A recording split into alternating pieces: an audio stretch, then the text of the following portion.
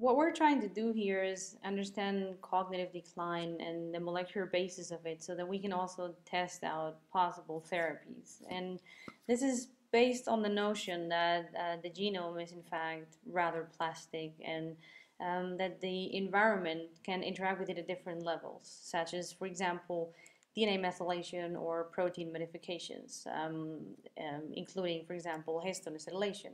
And um, histone acetylation in particular um, is known to, um, to cause certain conformational states that are more or less amenable to transcription. And this balance between acetylated and non-acetylated chromatin um, is controlled by a set of enzymes um, called the histone acetyltransferases and the histone deacetylases.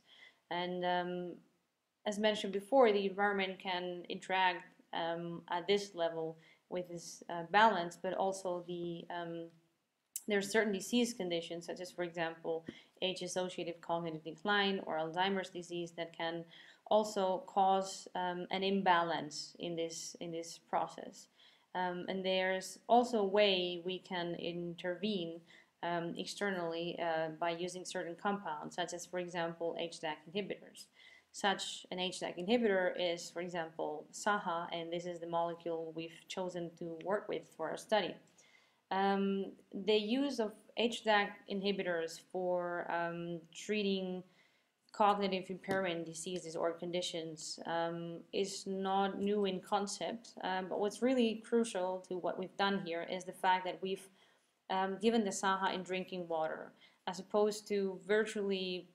all the studies before, which are using um, much more invasive methods, such as um,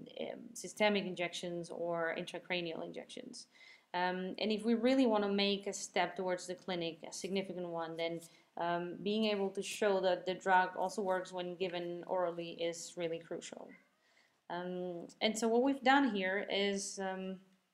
we've taken um, a model of cognitive decline, namely old animals, uh, and we've treated them with vehicle or with SAHA. And um, one of the first observations we have is the fact that animals treated with vehicle old animals treated with vehicle um, are impaired in a particular task, the Morris water maze, um, but when they are given Saha, they um, are able to perform this task um, almost as efficiently as their young counterparts. And in terms of histone acetylation, in particular histone 4 lysine 12 acetylation, we also observed a reinstatement of um, acetylation levels, which are reduced um, in old vehicle treated animals. Um,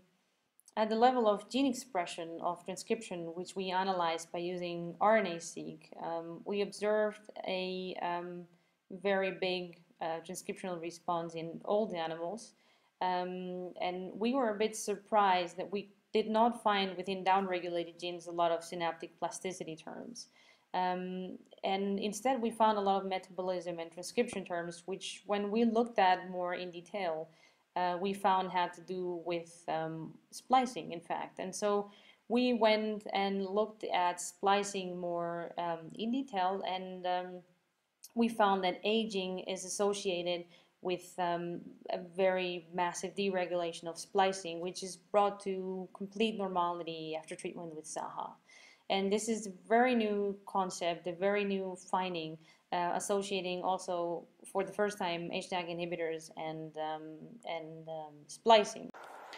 This being true, at least for the brain and at the genome-wide level. Uh, and so to, to prove this concept and go a bit further, we've um, done a series of experiments, um, this being one where we injected an inhibitor of splicing, namely uh, spliceostatin A, um, and we saw that animals injected with this compound are unable to perform in the Morris water maze. However, animals co-injected with SAHA and this inhibitor uh, fall somewhere in between, which is telling us on the one hand that splicing is essential for cognitive performance, um, and on the other hand, it's telling us that SAHA is interacting with, um, with um, this mechanism at some level, even if it's of course not the only mechanism by which it may be contributing to reinstating cognitive function. And um, so to put it in a nutshell, what we've shown is that Saha, when given in drinking water, can reinstate cognitive performance, transcriptional balance, acetylation, and um, alternative splicing. This in aged animals. And um, we have somewhat similar findings in AD mouse models, um, but slightly different with a slightly different spin. So what we found there is that um, the pathology of um, of AD animals, although um, it uh, it concurs with cognitive decline as well, uh, is fundamentally different because, for example, at the level of gene expression, um, we found that um, there were many synaptic plasticity terms that were deregulated, as opposed to um, in H animals, where these terms only came up in the um, in the splicing. And in fact, for AD mouse models, the um, splicing deregulation was associated with malfunctioning cytoskeletal um,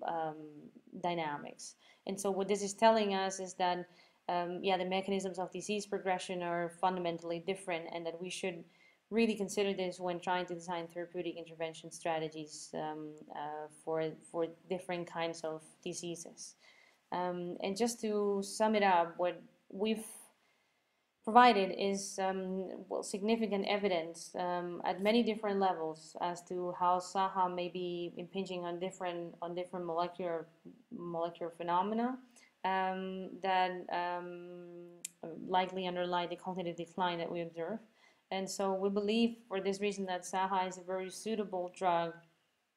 to treat um, cognitive decline, and we are convinced um, that it's worthy to move it into a clinical trial.